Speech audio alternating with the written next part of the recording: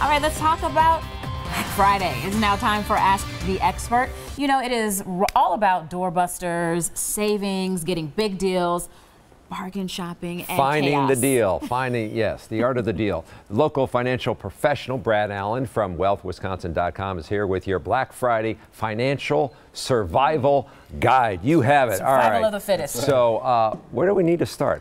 Well, it's, it all starts before shopping. Okay. Right. So we should have a holiday budget, which you just put in the You names just of taking all the fun out of it right there Right. now, budget huh? every week, right? Right. But you This made is- this it is easy important. because where can I find this budget? Wealthwisconsin.com. You can print it right off. Just Okay. name who you want to buy gifts for, how much you want to spend, and keeps track of everything. Sure. Everything for you. All right, you got the phone there? Okay, so after we do that, Mm-hmm. we've gotten who we want. What should shoppers do next before they hit the stores? Well, I would I would definitely look at your phone. Every store has a website. Every store has an Mm-hmm. app that has coupons and all this kind of stuff on it now. So before you go, check out the website and see what's on. Uh, see what kind of deals you can get ahead of time. Maybe you can order it online. Maybe it's cheaper just to ship it. That kind of stuff. Okay. Okay. Yep. You got an envelope there? I do. In the An envelope, is? Ah. for, for cash. So I would, I, you know, I always recommend people just bring cash with them to go shopping, right? That way you're not swipe. It's so easy to swipe a card Right. over and over again. You don't see it till the, the bill actually comes in. So taking cash and just having that cash, and once the cash is gone, it's gone. Okay. So you have to you have to kind of divvy it out and, and, and use that budget a little bit more carefully. What do you got here? This is for when you're at the store. So Okay. number one, we want to ask questions. So we Uh, have the, some different flyers. Bring in a flyer, ask where things are. You know, ask if they have any more in the back. You know, that way it's just a quicker process. But also ask other customers where have they been shopping.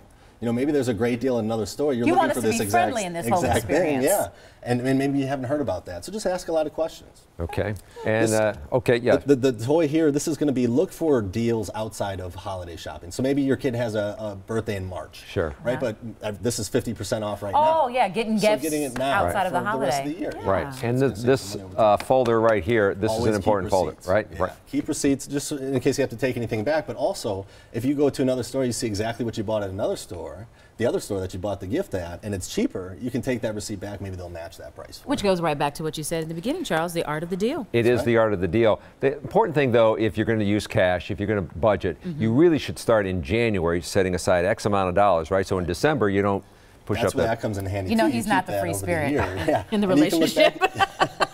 You can look back at the receipts from last year, see how much you spent, then you can kind of have an idea of what to save throughout the year. Right. That's a good point. So Shannon, will I be on the top of the list or the bottom of the list? You'll be on the list. Uh, that's good to know. At least I'm now, will the I be using cash or thinking about January next year for you? All right. if you have a question for our expert, we do have the number right there for you to call or just leave a voicemail and call that number. All right, here's what we know. That's it for four. Yes, we've got much more news ahead on Live at 4:30. We hope you join us.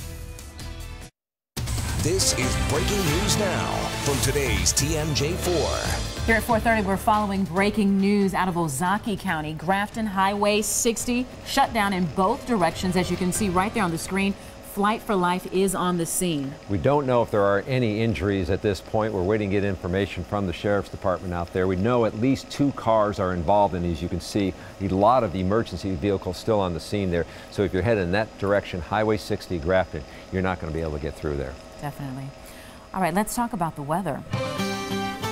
We've talked about how perfect it is for travelers uh, this holiday weekend, but it's still kind of cold. It is cold. No one's battling the elements. We've been through that sometimes. Brian got it here with a look at the forecast. I can handle a little cold as long as the roads aren't slippery. How about that? That's true. Sun was out all day. The clouds, though, have moved in. And with those clouds, are going to help keep our temperatures up tonight. We're currently at 28. We're not going to drop too much more. If it would have stayed clear, our dew points are in the teens. It could have been a very, very cold night. The wind is around 5 to 10. And those clouds are dropping a few snow flurries to the west of us, back off just south of Stevens Point, Wisconsin Rapids, west of the Dells, out towards Dodgeville. We could see a few uh, flurries here this evening and overnight tonight, but nothing major. If you are traveling to the northwest and to the north, you will run into some very light snow showers. Less than a quarter of an inch of accumulation is expected up north, so the roads should be just fine. It's cold though, temperatures in the mid 20s from Wausau northward, lower 30s here in the southern portion of the state. And as I mentioned, those clouds and that light southwesterly wind will keep temperatures still right around freezing by 10 o'clock. 29 and cloudy by tomorrow morning. What about the afternoon for Thanksgiving and for Friday and the weekend? We'll talk about that coming up. All right, Brian, thanks. For families across the country, it is as much a part of the holiday as turkey and stuffing. Tomorrow morning, the 91st Macy's Thanksgiving Day Parade will fill the streets of New York City. Always a great event. Tonight, crews are getting those giant balloons ready for the big show. Jay Gray has more from the annual inflation party. It is a Thanksgiving tradition, the party before the parade, but this year, starting with security screenings on the way in, there is a noticeable difference here. Is there will be a very strong presence of the NYPD.